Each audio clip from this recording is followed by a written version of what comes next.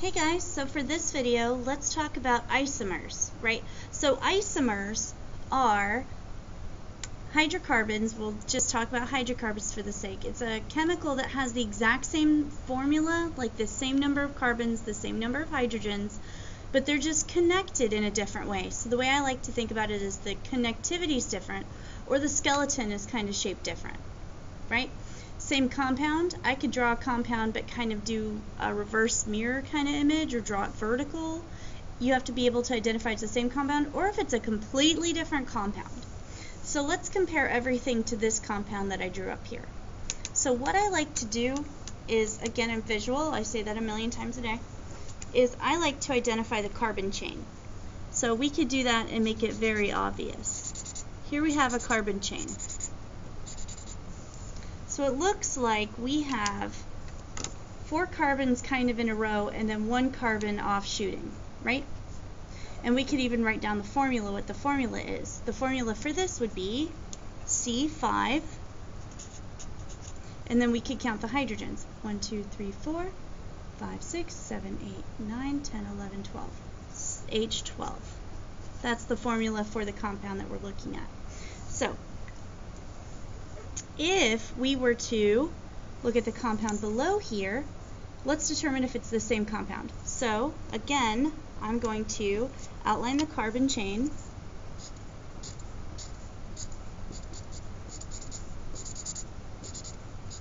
If it's hard for you to visualize. First off, what do I notice? I notice that everyone here is single bonds, everyone here is single bonds. Great. So that's a good sign.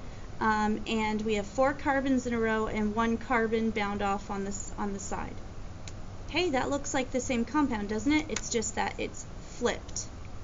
But isn't it the same compound?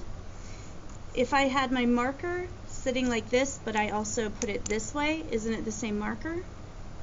Yes, right? The connectivity is the same, the wording's the same, it's just it is spatially flipped. So it's the same compound. So this compound and this compound are identical compounds. So same compound.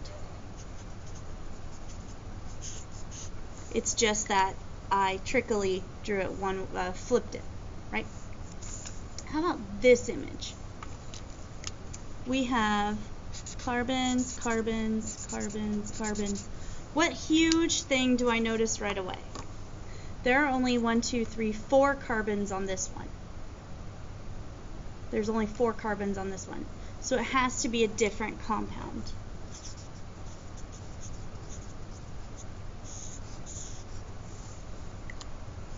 Let's look at this one.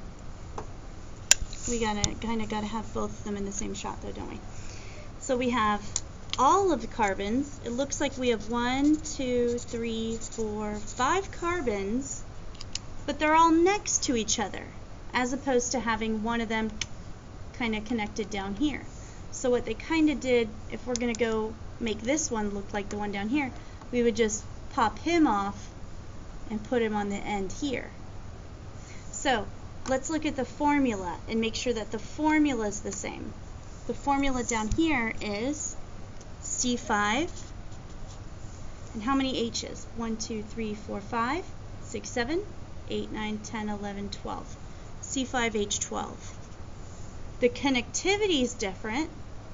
Why? Because up here you have one small branch. Down here you have them all linked side by side. So the connectivity is different, but the formula is the same. The actual you know, number of carbons and numbers of hydrogens is the same. So this is an isomer.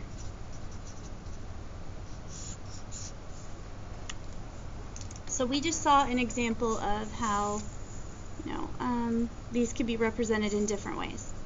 So hopefully this helps. Good luck, guys.